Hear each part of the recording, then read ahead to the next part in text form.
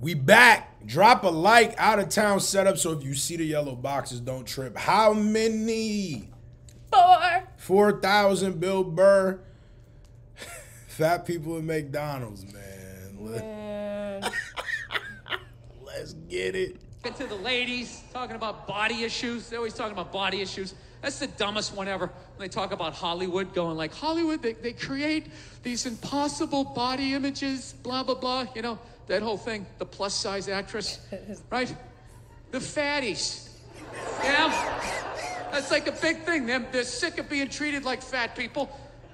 I don't know what it is they're doing. They're going on the cover of magazines now, just like showing how fat they are, wearing a little bit amount of clothes.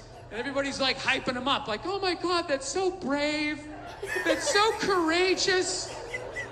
I'm not saying it doesn't take balls, but that's a bit of an overreach with the word brave. Right? Like, what am I supposed to do if I ever see a fireman running out of a building carrying a baby and an old lady? Am I going to sit there like, oh my God, you're like a fat actress that takes her shirt off to do a magazine shoot to promote the movie she's in? There's always everybody got to put a meaning behind something now. They got to be like, yeah, the reason why this happened is because the stars aligned exactly on this time on Mars and this. Yeah, there's always got to be a reason, Bill. A magazine shoot to promote the movie she's in. right. Now look, I know you're not supposed to make fun of fat people. I understand, all right? I don't know why though.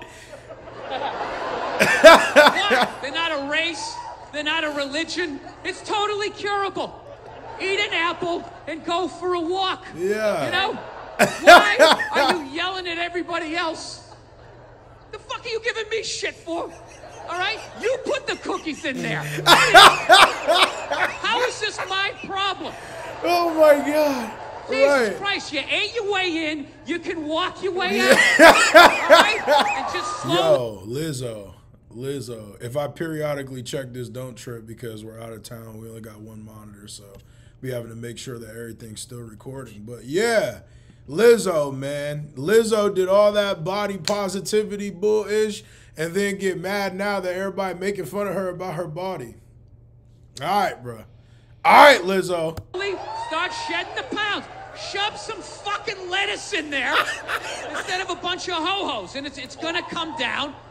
And then you're on my side of the fence, Yeah, right? Join me. Come on, stay with me. Shame. Shame. Yeah. Bring back shame, bro. Right? Nothing know, wrong you're not with supposed shame. to shame. You're not supposed to fat shame. You're not supposed to slut shame. They're like shaming, shaming. Like people aren't supposed to walk around with any shame. It's like a legitimate human emotion, but you're not supposed to feel it at all. You know, you're supposed to just walk around like a dictator. Just not, not you're not gonna feel any shame. You never felt shame. You never had such a bad fucking night the next morning. You, you, you woke up, you couldn't even look yourself in the mirror. When you went to go brush your teeth, you looked up, you're like, oh, you fucking piece of Yeah. Wow, even for Definitely you, done that, that. was bad. Lights out, curtains drawn until at least two in the afternoon before I can even look at you, you fucking piece of shit. Yeah, you're supposed Been to have no shame. That's the new world. You're just gonna walk. What? Why you been there? I've been there. For what? 'Cause you know why. I told you, you know. Oh, here we go. Ain't nothing wrong, you know. Sometimes you ain't gonna get you a 10, you know? Sometimes you might stutter a little bit or something, you know? It's okay, you know? It's just we don't always have to be proud of everything. That's shame, you know? Lost appetites. Like definitely lost appetites. Like, ugh. Ugh, slimy nigga. Tripping. Yeah, you're supposed to have no shame. That's the new world. off. You're just gonna walk around sucking dick, you know, eating cookies, and just show up, and nobody's supposed to say anything. Wow. No one's supposed to have an opinion. Like, wow, that's that's gonna go off the rails pretty soon. I know it's probably mean to do this stuff, but like, you can only have so much sympathy. There's so much, so much stuff you can care about. You know what happened to me that changed my life? I did a gig in India, right? Unbelievably great people. But some of the stuff that I saw there, I'll never forget. I literally, I did a gig in India. I saw a toddler take a shit between two parked cars, walked away, no pants or parents, and then disappeared into the crowd like That's Hannibal not Lecter. supposed to be funny. That's not supposed to be funny, bro. He said, "Go by my day." For real. Just doo doo booty. But Man. that's how it be out there. I see. Bruh. No baby powder, just getting chafed butt. That's tragic. Oh my god. Can't poop in your butt too long, bro. Uh, no pants or parents, and then disappeared into the crowd like Hannibal Lecter at the end of Silence of the Lambs. It's one of the most heartbreaking things I've ever seen That's in my life. That's not funny, but that's And then I come back to my country and it's like, oh, the studio said I lose 15 pounds to star in a movie. Well, then start running, you fat fuck. That's your big complaint in life? right. Yeah. You know what it is? You know what it is? You know what it is about these fatties? You know what it really is? They have no respect for the amount of sacrifice and dedication it takes to truly get in like magazine level shape. Which is the you ever try to get abs? You ever try to get all the abs and get that shit down here? You ever try to do it? It's fucking impossible. Past the age of 19, you can't do it without tons of help. You gotta buy all these exercise tapes. You gotta read about nutrition. You gotta get a personal trainer having you fucking running along. You need like your own chef, and he's like, okay, don't eat it yet. Don't eat it yet. All right, now eat it. Start consuming it. All right, stop. Slow down. Stop. Stop. Spit it out. Spit it out. I told you to stop. Get on the electric. now you like that Brussels sprout? Did you like that Brussels sprout? But now you're paying for it. What? It's a fucking miserable experience. Yo. Just walking around, your whole body's eating yourself. You know, you want some cake? No. No, just take a salad. Balsamic vinaigrette on the side, no croutons. Right. Oh my God! When is the photo shoot? I want to kill myself. Uh-uh. It's horrible. You ever try to get fat? no. You don't have to. It's effortless. Yo. You can fucking lay on your back, watching your favorite show, just shoveling shit down your throat. What are you doing? I'm getting fat. I'm getting fat. You got a trainer? Don't need one. Natural. I just eat everything that makes my sugar salt go like, yeah, woo! Why is he particularly going off on this one like? He's got crazy conviction. He's delivering this like a rap battle. For real. Bill snapping. Yeah! Comes right in. Nice roll of fucking flab. no, it's ridiculous. Like, I know nobody wants to be fat, so I'm not shitting on you about that. But don't fucking come at me like it's my problem and I need to fucking rewire myself. No, you're overweight, okay? There's plenty of things that can help you out. This is, everybody's got something to deal with. I'm a fucking lunatic with my temper. This is something I have to deal with. I do. You know, you, you can't fucking stop eating pork chops. That's something you have to fucking deal with. I don't have to completely rewire myself. You know what it is? It's just a bunch of sixes pissed off that they're not getting treated like a 10. You know, at some point, you just got to acknowledge what you are. You're a six. I'm sorry, all right? Nothing wrong with that. Nobody jerks off to a six. That's the deal. Unless you work with her. If you work with her, you know, she's got that one outfit, you know, it just does something for you. You're working close quarters, so there's, you know what a shampoo smells like? There's an intimacy. There's an intimacy there. All right? He's so stupid. Yo. I don't know what women rub one out to, but I know it ain't me. All right? This is a fantasy. That's why I I don't know feel it bad ain't about me. trashing them. It's like, yeah, this is all coming from. I'm a strong five. All right? That's where I am. So I still feel like I'm punching up here. You know? Honestly, people, I'm a bald, redheaded male. You don't think there's a glass ceiling on the kinds of parts I can get in Hollywood? Really? Do you think I'm ever going to be the lead in a romantic comedy? It ain't happening even if I'm booking the movie.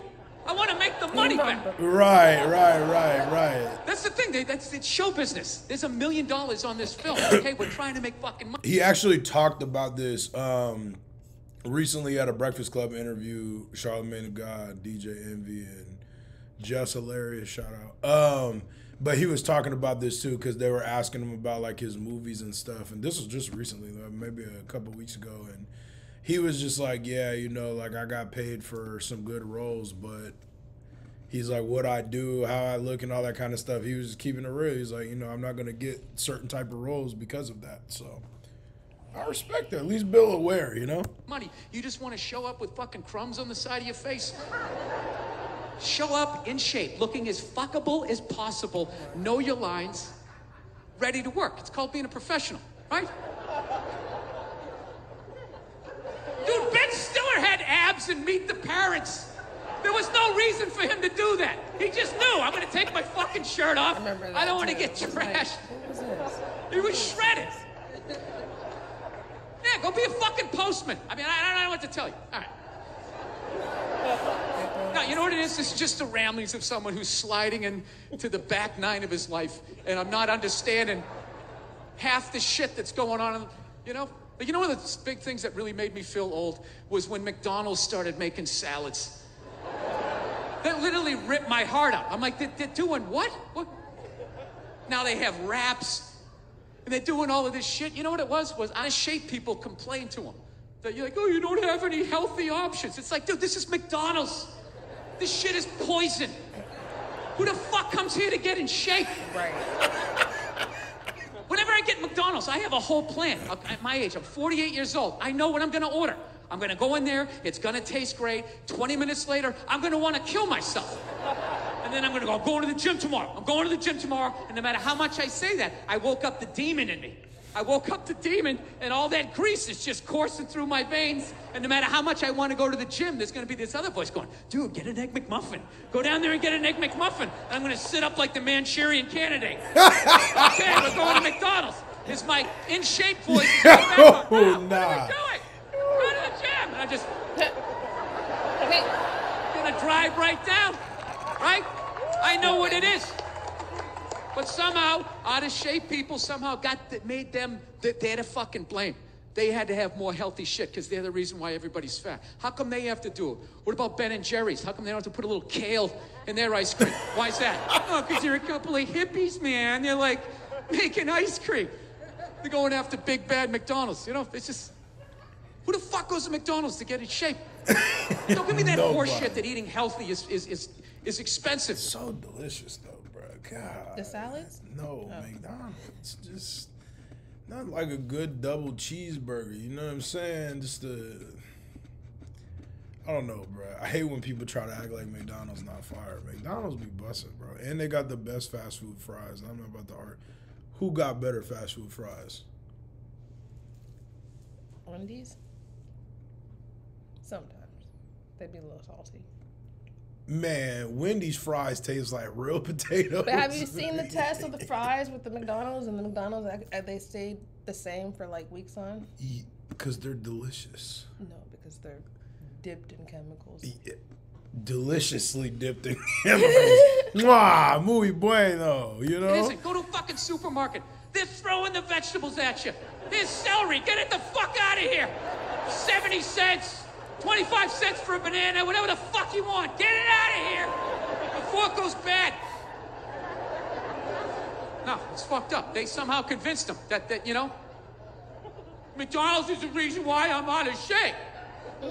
I would have got a salad, but you didn't have the option, so I was like, well, I guess I gotta get 52 Big Macs. Wow. Thanks a lot, McDonald's. Yeah. Adults. It's not their job to babysit you. They're a fucking business. If you order 50 sandwiches, they're gonna give it to you. It's your job to not do it. You fucking dope. Right?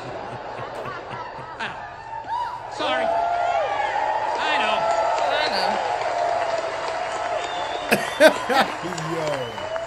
Yo. Bill McDonald's, is hilarious. McDonald's exists for two reasons, okay? It's for drunk people and it's for children. All right? That's what this thing is.